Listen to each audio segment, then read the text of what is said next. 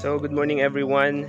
Ah, dito ako ngayon sa baryo ng misis ko and siningit ko lang tong paggawa ng vlog para makita nyo kung ano yung mga orchids na maaaring matagpuan dito sa baryo. Unahin natin sa Hoya. Ito yung Hoya pimentaliana. So, ngayon ang actual flower ng Hoya pimentaliana. Okay, so ito yung flower niya. Medyo pa wala na yung flower niya. Also, we have Hoya obscura. So, itong Hoya obscura, na natagpuan namin to sa bundok ng Kapunchan. Dito rin sa San Mariano. So, kung gusto nyong magkaroon ng mga halamang kagaya niyan, yung mga Hoya na nabanggit ko, you can refer sa description below para makontak nyo ako sa aking cellphone numbers, mobile numbers at saka sa uh, Facebook account ko. Trix Spermum. Hindi siya Hoya pero ito ay Trix Spermum. Medyo pangit siya kasi nga laking bundok siya. Sa wild siya. So pinapaganda pa namin siya. Okay, next is itong Hoya na to. So, take note guys, no, ang lahat ng ito ay mga native orchids sa Philippines. So, wala pong imported, walang hybrid. Okay? So, ito po yung Hoya na may obscura at yung Hoya na to, hindi ko pa alam kung anong ID niya because uh, hindi ko pa natanong sa mga expert at hindi pa rin naman siya nag-flower so hindi pa sigurado kung ano yung ID nito. So, itong Hoya na to ay Hoya campylophoria. So, ipapakita ko yung picture ng flower nito sa sa screen. Next is itong Hoya YTE. Yan. So makikita nyo guys, yung bawat Hoya natin ay magkakaiba yung dahon at of course yung mga bulaklak nito. So meron naman yung magkakapareho ng tawag pero pare-pareho lang din yung bulaklak. Pero meron naman yung magkakapareho ang tawag gaya ng Hoya obscura, we have yellow and we have also yung pink variety ng flower nito. Meron tayong ito, uh, balingot kalabaw kung tawagin namin. So or or one day orchids kasi yung or, yung orchid na ito ay namumulaklak lang tuwing isang araw lang. Pag namulaklak siya, isang araw mo lang ma-enjoy yung ano niya, yung bulaklak niya din, mawawala na. Next is ito nga yung mga trix spermums natin. Ito yung mga balingot kalabaw natin. Okay, so ganito yung dahon niya. Para nakakatakot siya pero ganun talaga. We have the uh, Renantera Philippinense or Story Eye. Yan. So ito yung Renantera Historia.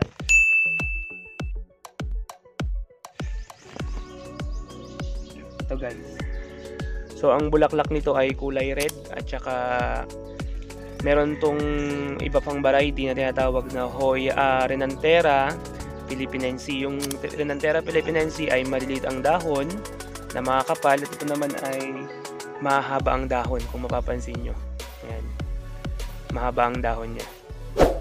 So, kung gusto niyo umorder ng mga kagaya nito, i-PM nyo lang ako sa aking Facebook account na nasa description or i-contact nyo ako sa mga contact details ko.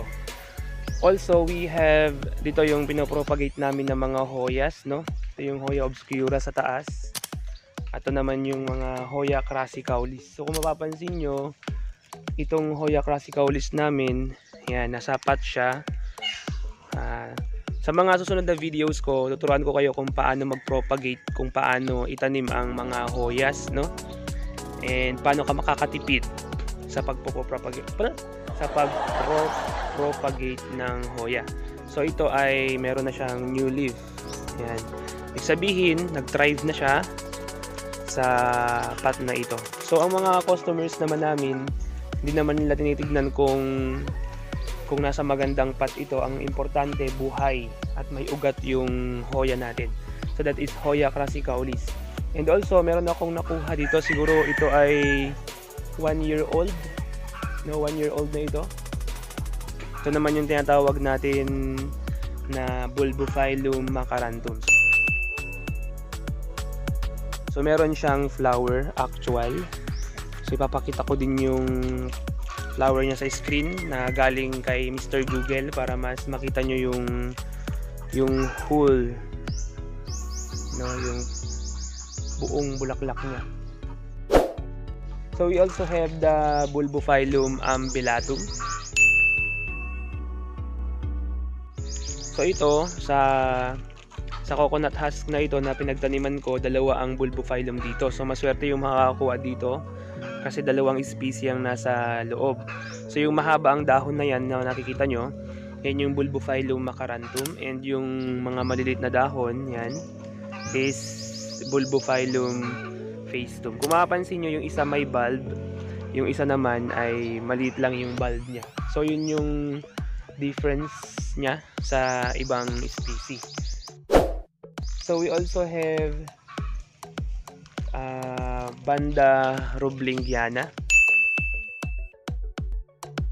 So ito wild lang siya kaya nagkaganto siya. Medyo leggy siya, mas masyadong mahaba. Na kung mapapansin nyo, siguro nasa 1 feet na yung taas niya.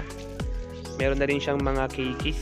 Yan, nanganganak na siya. So ito ay mga 2 years old na. No, na nakatanim dito. Uh, wala kasi kaming mga inilalagay dito na mga pataba, fertilizers, kaya ganito yung nangyayari sa kanila.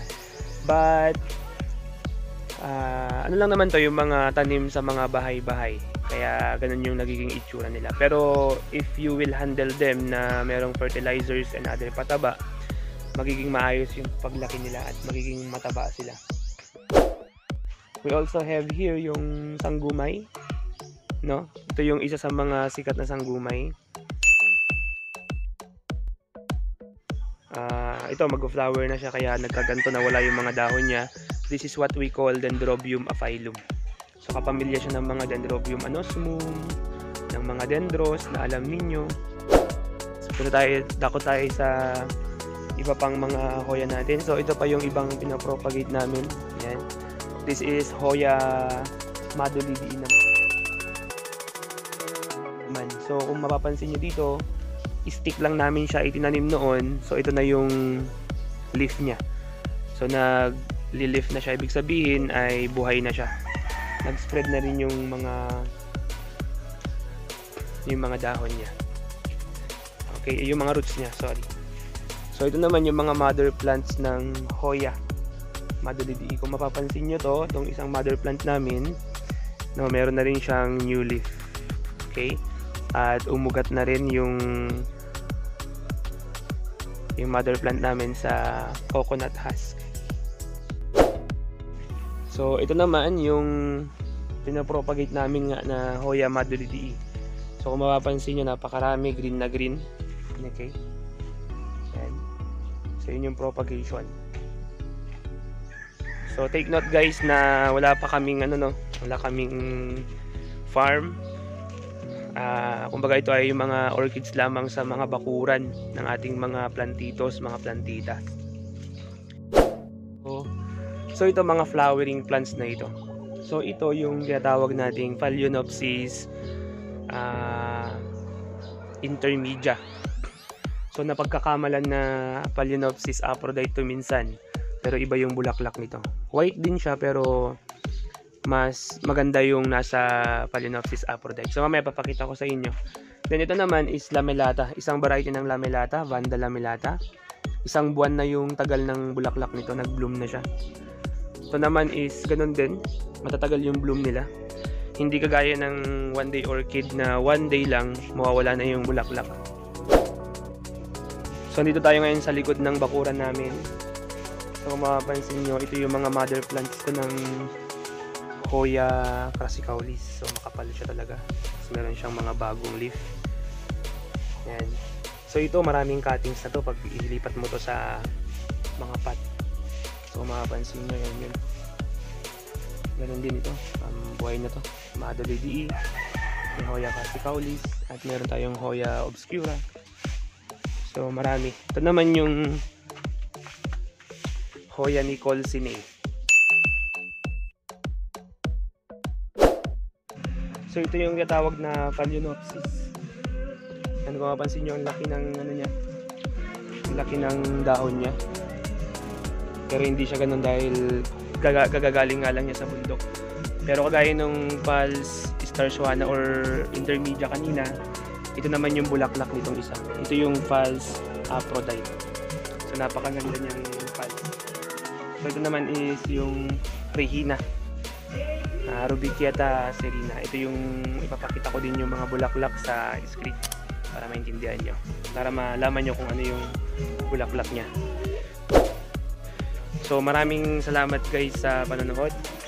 Ito lang siguro muna yung mai-share ko sa inyo sa bakuran ng aking biyanan dito sa San Mariano. ah, particularly sa baryo ng Daragutan East. So maraming salamat at once again, this is Kuya Mike